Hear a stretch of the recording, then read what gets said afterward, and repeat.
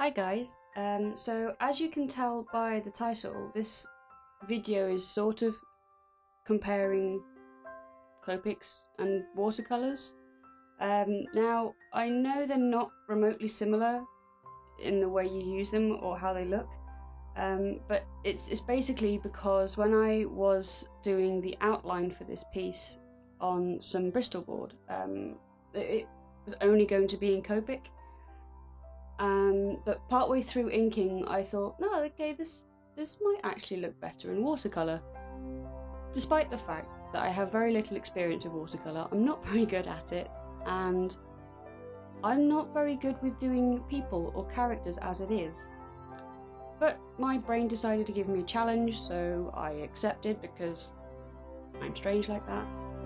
And subsequently, I ended up with two pieces of the same picture, which sort of came out in two different styles. So it, yeah, I, I was I was originally going to just use the one, like whichever one came out better. But I, I quite like different parts of both of them, so I'll explain that at the end of the video once everything's finished. Um, but for now, it's just sort of like I decided to start working on the watercolor piece. Um, so that because I'm very, very impatient when it comes to watercolours. I hate having to wait for different layers to dry. So I figured if I worked on both pieces at the same time, I could work on the Copic piece whilst the watercolour was drying. Um, which is why the video dots between the two a lot. Um, I think I ended up with close to three hours worth of footage between the two pieces. Um, I did cut some chunks out of it for this video. Um, but yeah, I I like the way both pieces came out, and this character, if you will, is called the Spring King because I was watching a BTS Seasons Greetings video on YouTube um, where the guys played like a quiz game to win the title of each season's king, and this one sort of, it sort of sparked a little idea in my head that it would be a really cute idea to turn each of those kings into a little character. So the Spring King is based on Jungkook. I think that's how you pronounce his name. I'm sorry if it's not. Um, because he won the first king, which was Spring King, so, which is why I'm starting with Spring. And he, he was so happy about it that it just kind of made me think, oh, that he'd make a really cute character. Um, and because it's spring, I chose the colours of green and pink. Because when I was doing some research, um, I wanted to include a flower crown, but with flowers that um, bloomed during the Korean springtime. So I picked the azalea and cherry blossoms because they have pink tones to them, and I thought it would be a really nice contrast to green skin and green hair.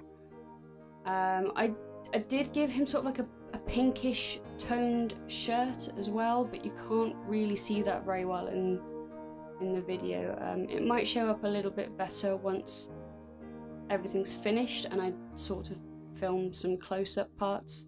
Um, but for now, it just it, it stays looking really white. Um, by the time I got to the end of these, I had to stop um, with the watercolor one because the I think I oversaturated the paper a bit and it was starting to tear in little places, but I wasn't happy with the way both of them looked by the time I'd finished using each medium. So I went off camera for a bit um, and decided to add pencils over the top of each one just to see how it would sort of bring the piece out a little bit better or if it would. I, I wasn't sure if the pencils would work on the Bristol board. They, they did a little bit, but they weren't great. Um, so yeah, I'll add a snippet right at the end of the video for those, um, so that you can see the comparison of them. Um, but for now, I will stop rambling because I'm very aware that this is quite a long video anyway. Um, and I'll just leave you with some music. So I'll talk to you guys in a bit.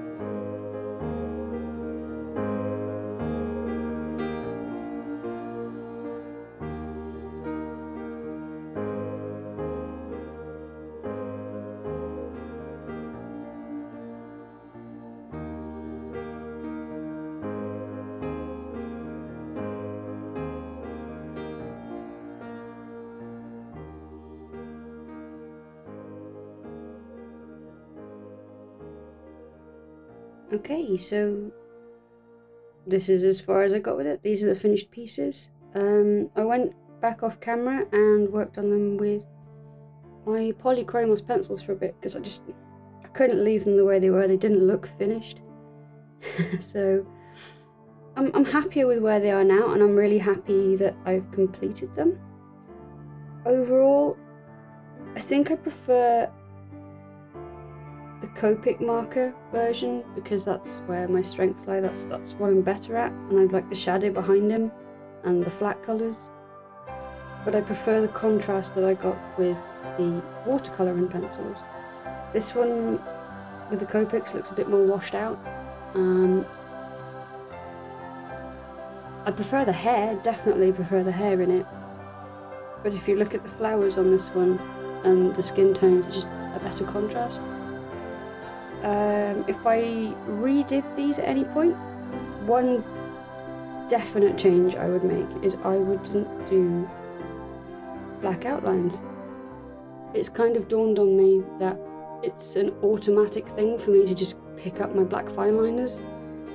Um, yeah, in future, I think that, like the next piece that I try, which will be the Summer King, I think I'm going to try outlining in pencils uh, because I have some of the Prismacolor Verithins, which I've noticed quite a lot of other people using for outlining. So I'm going to give that one a go with that concept. Um, but overall, I am very happy with these. Like I, I'm not good with watercolor. I'm not very good at doing people, especially the shading on the skin. But overall, I think I've made some improvements since I first started doing characters, um, which wasn't that long ago. So, yeah. I call this one a thumbs up, guys. Um, let me know which version you prefer. And do you prefer the Copic with pencils? Or do you prefer the watercolour with pencils? Let me know in the comment section down below, and yeah, see how it goes with the next one. Okay, bye!